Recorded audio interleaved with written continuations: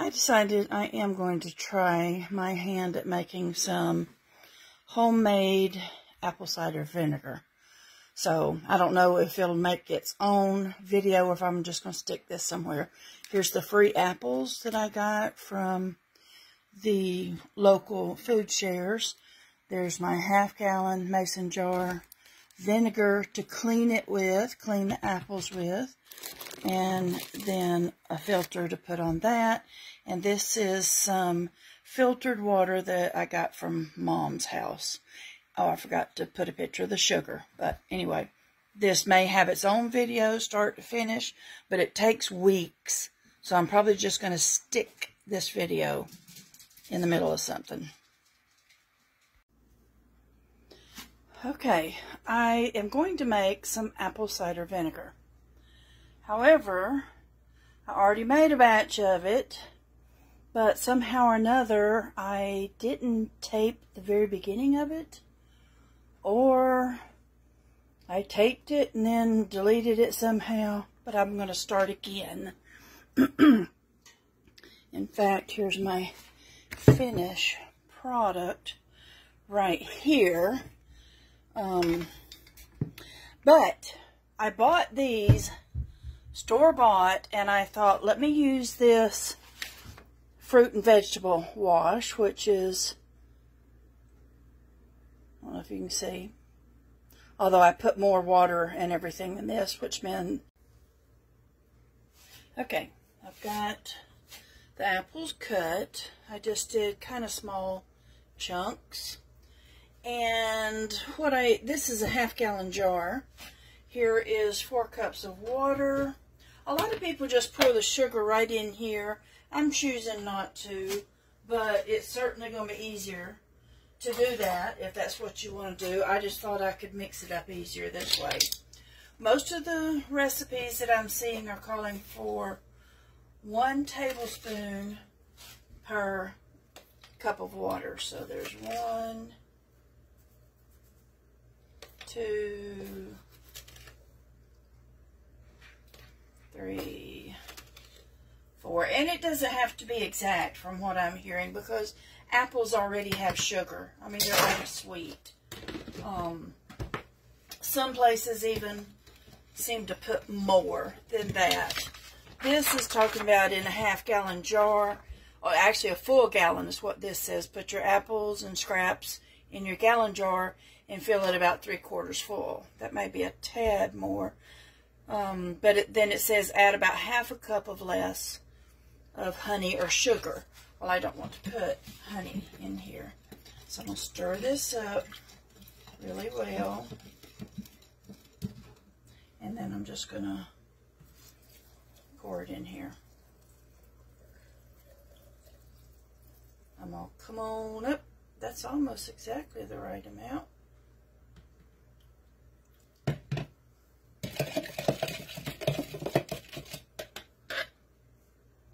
And we're not going to put, we're not going to put a lid on it at this point. What you do now, you can put a towel, a cloth. This is, obviously, this is a um, coffee filter. And now I'm going to put a rubber band on it. And there you go.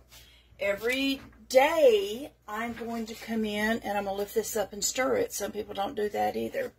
But now this is the beginning. I will do a little sticker on here and say began. Let's see, this is the 7th, November 7th. So this is the beginning of it. Okay, this is, I think, day four of my beginning to make my first ever apple cider vinegar. Those bubbles means it is cooking, so to speak. It is fermenting like it's supposed to. A lot of them, see all that foam there? They say that is natural and normal for this stage. Um, yeah, it's getting darker, the juice. Some people say just sort of stir it or move it around. You want to sort of move it around. I'm not sure what they say for um, what that does, but anyway, it's sort of moving the apples around from so they're not all just right at the top and whatever. So, so far it seems to be so good. Because say some of them tell you only do this once a day, but others will say twice a day. I don't think it'll hurt to do. This is my second time today. I try to do it at that, and then once I'm done, I just put that back on there and wait until tomorrow. Do it again. Okay, this is the beginning of the third week of my homemade apple cider vinegar. I began on September the 16th. Today is October 7th. So, I'm probably going to have to lay the phone down a moment. I'm going to take this off. I actually have two of those coffee covers. I may, or filters. I probably only needed one. But let's look at this. It kind of looks yucky, but it's supposed to. Let me pause this a minute. Okay, I've never made this before, but I'm trying to watch several different people that I like and respect on YouTube. And that's kind of like, looks like silt down at the bottom and up at the top. The little foaming is pretty much stopped. This looks like the beginning. Yes, that's the beginning of what they call the mother. I still am going to wait the full month before I remove the apple. Let's see if you can see that. Yes, it looks kind of funny, but the bubbles have stopped. This is maybe the last time that I'm going to stir it. I've been stirring this at least once or twice a day. There is no mold at all. And sadly, I didn't do a beginning video, but the beginning began with just filtered water that I got from Mama and her filter, and apples, and I think it was a quarter cup of sugar. So there I've stirred it for today. It looks funky, but they say it's how it's supposed to do at this point. But I will be keeping touch with y'all still. Right now, it still it smells about like, almost like a, what's hard to say, more like a wine. All right, I put that back on there. But I know it's not ready because it does not smell like vinegar. And even though it has maybe a soured wine smell, everyone says, don't mistake and think, oh, okay, that's a wine now. No, no, no, no, no. Everyone says that it tastes really like nasty wine. so I'm going to keep on for this for another week, and then I'll do uh, maybe one of those test, test strip test. And while I have you on here, just as a teaser, someone told me about banana peels and rubbing alcohol. That it is, you make it into, it becomes a liquid that you can put on your arthritis. It's anti-inflammatory. You do not drink this. This is rubbing alcohol and banana peels, and that is all. It is darkening, so I'll keep tabs on that too and let y'all know how that goes. But this will be about apple cider vinegar. Hopefully this will be a win and not a fail. But it is what it is. We learn from our mistakes, right? All right. I should have done this the other day this is now, let's see, four weeks and two days into this apple cider vinegar or apple vinegar, apple ferment, whatever. people are calling it different things. This is what it's looking like right now. And I'm going to go ahead and drain it off. this was the entire apple, including the cores, the seeds, and everything. It's looking very cloudy to me, but let me go ahead and pour it into here.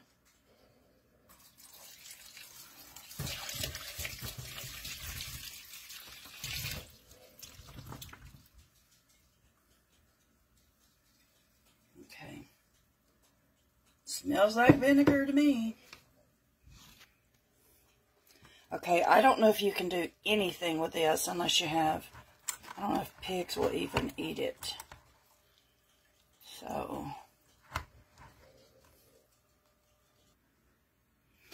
all right, what I'm going to do is I'm going to dump all the leftover apples, you probably can't see me, but into a bucket, like a scrap bucket. I'll figure out what to do with that.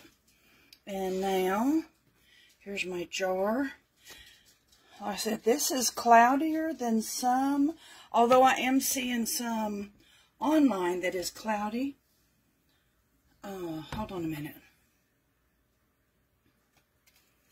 Alright, I've forgotten about this. What I'm going to do is, here's the pH tester thing.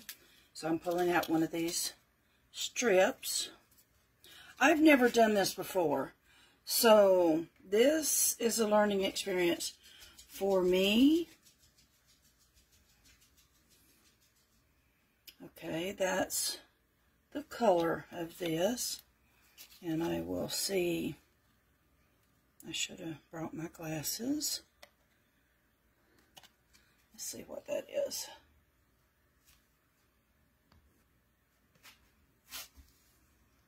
Okay, I can't tell for sure. It looks like it's a 3, but it may be a 4.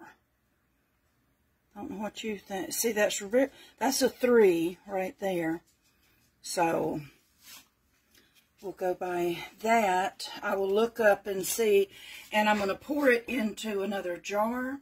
It may not be completely finished because some said that it can take even longer. Oh, that worked out perfect. So I'm going to pour that in there. And I will double check this and see, but this is the point that I hear that you can go ahead.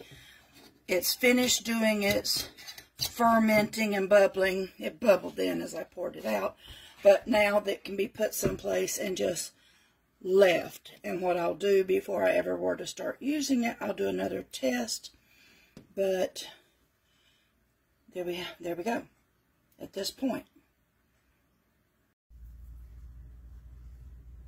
I was sure hoping this video would not be one of the really long ones, but I may as well forget about that.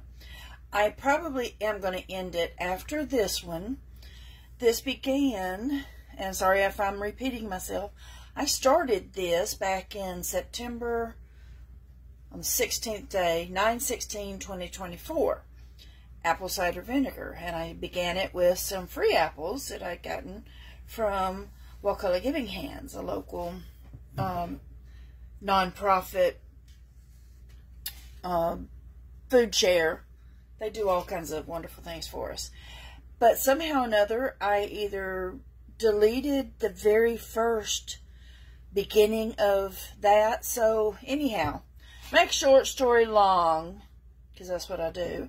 I began another batch on November the 7th, 2024, just the other day, with some apples that I had bought, sadly. So here's the two comparisons. This is the beginning.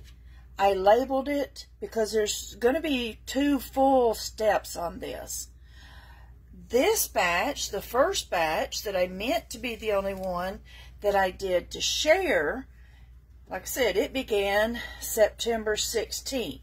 Depending on who you follow, er, people seem to have different ideas about this. Who I first got the information from on this said you usually wait about four weeks. Well, some places are even saying as little as two weeks. I went with four weeks on this batch, leaving the fruit, leaving the apples in it for four weeks. Then on the fourth week, I came in and I drained out the apples because it looked finished.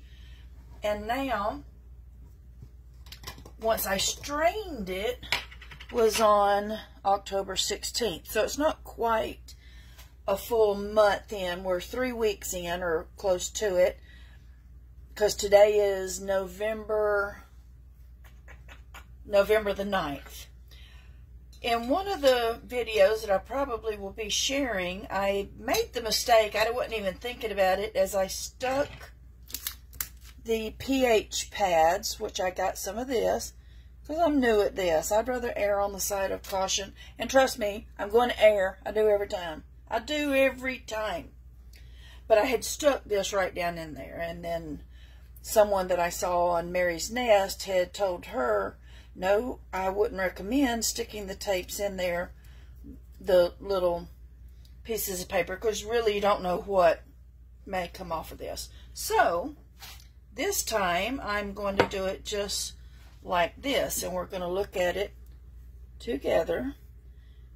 To me, that looks like a solid 4. Now, some people are saying, you see, not quite that, definitely more than that, and it's more than that. It looks like a solid 4 to me.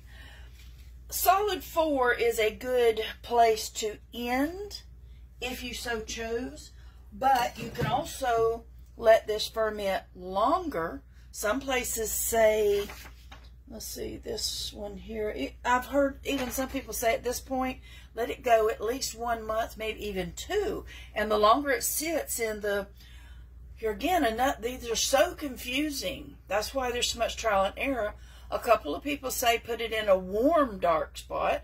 Others say no, it's always a cool dark spot. What I am going to do is sample this I did it, the sampled it the other day. So far, this is the best tasting vinegar I have ever had. Seriously, bar none, this is the best I have ever tasted. I think I'm going to wait a little bit longer. And because it's acidic, I didn't put, I didn't leave the metal lid on there that I will be in one of the other little videos that I put it on shortly, but I didn't leave it long. And then I thought, hey, Goober, you shouldn't put the metal on there. That's acidic.